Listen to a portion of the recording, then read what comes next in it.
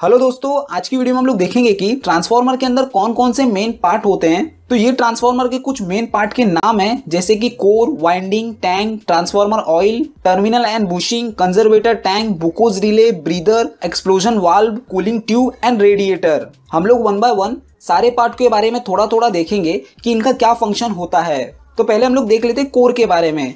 तो दोस्तों, जो कोर होता है, वो आयरन या तो सिलिकॉन स्टील से बनाया जाता है। तो जो कोर है, वो मैग्नेटिक फ्लक्स को पाथ प्रोवाइड करता है। मीन्स ट्रांसफार्मर में जो फ्लक्स प्रोड्यूस हो रहा है, वो कोर के ज़रिए ही दूसरे वाइंडिंग तक पहुँचता है। दोस्तों, जो कोर होता है, वो बहुत सारे पतले पतले शीट को मिला करके बनता है। एक शीट की थिकनेस अप्रोक्स 0.5 पॉइंट mm होती है। तो ऐसे ही बहुत सारे शीट को मिला करके एक कोर को बनाया जाता है बट दोस्तों इनको डायरेक्टली नहीं जोड़ दिया जाता। इनके बीच में एक लेमिनेशन की लेयर होती है, उसके बाद इनको जोड़ा जाता है। तो लेमिनेशन की लेयर इसलिए डाली जाती है कि जो ट्रांसफार्मर के अंदर एडी करंट लॉस होता है, वो कम होने लगता है। मीन्स हम लोग अगर कोर के अंदर लेमिनेशन की लेयर डालेंगे तो उसकी वजह से एडी करंट लॉस कम होने लगता है। और जो सिलिकॉन स्टील हम लोग यूज़ कर रहे हैं, उसके वजह से हाइस्टेलिसिस लॉस भी कम होने लगता है। इसके लिए कहा जाता है कि जो कोर है वो सिलिकॉन स्टील से विथ लेमिनेशन से बनाया गया है। तो अब हम लोग नेक्स्ट पॉइंट को देख लेते हैं। तो नेक्स्ट इज़ वाइंडिंग तो दोस्तों ट्रांसफार्मर की जो वाइंडिंग होती है, वो कॉपर से बनाई जाती है।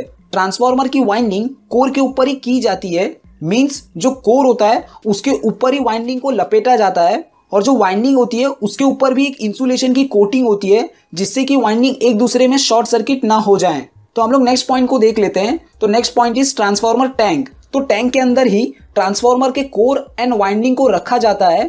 टैंक मोटे मेटल से बनाया जाता है। इसकी थिकनेस बहुत ही ज़्यादा होती है और ये पूरी तरीके से सील रहता है। तो हम लोग नेक्स्ट पॉइंट को देख लेते हैं, वो है ट्रांसफार्मर ऑयल दोस्तों, ये जो ट्रांसफार्मर का टैंक है, ये पूरा ऑयल से भरा जाता है।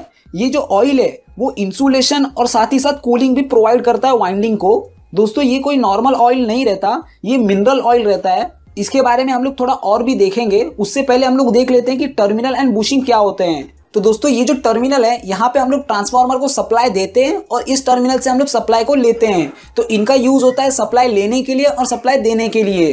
तो इसके ऊपर इंसुलेशन इसलिए लगाया जाता है कि दोस्तों, अगर कोई भी वायर हम लोग कनेक्ट कर रहे हैं तो वो वायर हमारे डायरेक्टली ट्रांसफार्मर के बॉडी के कांटेक्ट में न आए। इसके लिए यहाँ पे इंसुलेशन लगाया जाता है। दोस्तों, इसको बुशिंग भी बोला जाता है और कई कई जगह पे टर्मिनल भी बोलते हैं। लेकिन जो परफेक्ट वर्ड है, वो है बुशिंग तो नेक्स्ट पॉइंट को हम लोग देख लेते हैं, वो है कंजर्वेटर टैंक तो दोस्तों, जो कंजर्वेटर टैंक है, वो एक टंकी की तरह होता है, उसके अंदर हम लोग एक्स्ट्रा ऑयल को रखते हैं, जो कि हमारे ट्रांसफार्मर के साथ डायरेक्टली कनेक्टेड रहता है. कंजर्वेटर टैंक बहुत ही इंपॉर्टेंट रोल प्ले करता है हमारे ट्रांसफार्मर के अंदर. तो दोस्तों, जब भी ट्रांसफार्मर फुल्ली लोडेड होता है तो उसकी वाइंडिंग ज़्यादा हीट होती है। तो वाइंडिंग ज़्यादा हीट होने की वजह से क्या होता है कि हमारा जो ऑयल है, वो भी ज़्यादा हीट होता है। तो जब भी ऑयल ज़्यादा हीट होता है तो वो एक्सपांड होने की कोशिश करता है। तो एक्सपांड होने की वजह से क्या होता है, हमारा जो कंजर्वेटर टैंक है, उसके अंदर इस ऑयल का एक्सपांशन होता है। तो जैसा कि मैंने आप लोग को बताया कि कंजर्वेटर टैंक को कभी भी फुल नहीं भरा जाता तो ये जो एक्सपांशन हो रहा है, वो कंजर्वेटर टैंक के अंदर होता है। इसके लिए हम लोग कंजर्वेटर टैंक को कभी भी फुल नहीं भरते।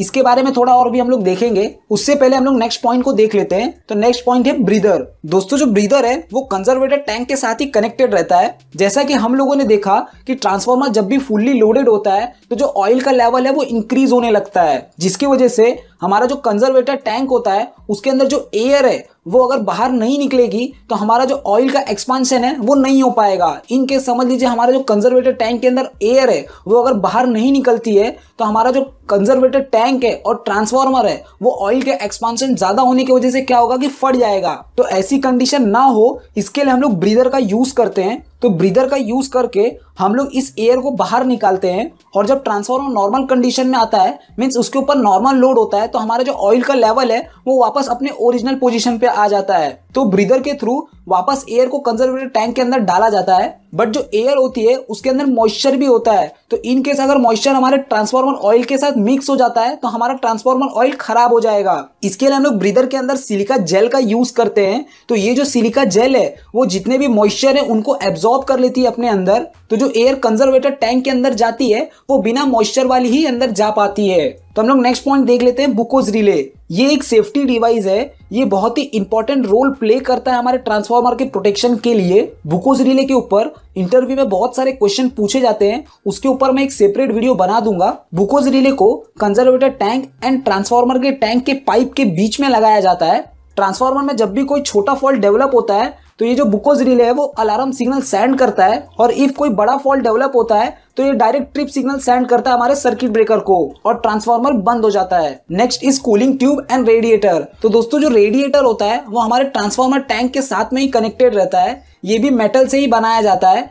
ये जो रेडिएटर होता है, बहुत सारे पतले पतले पाइप को मिला करके बनाया जाता है। तो दोस्तों, जैसा कि आप लोग को मालूम ही होगा कि जो गर्म ऑयल होता है, वो ऊपर के साइड जाता है और जो कूल ऑयल होता है, वो नीचे के साइड में आता है। तो जब भी ऑयल गर्म होता है तो वो ऊपर के साइड जाता है और इन रेडिएटर के अंदर आता है। तो इन रेडिएटर के अंदर आने की वजह से क्या होता है कि इनमें बहुत सारे पतले पतले पाइप है और इनके बीच में गैप होने की वजह से इनके अंदर हवा लगती है। तो हवा लगने की वजह से ये इजिली कूल हो जाते हैं। या तो जिधर ज़्यादा गर्मी हो रही है, उस जगह पे हम लोग एक्सटर्नली फ़ैन भी लगाते हैं इनको कूल करने के लिए।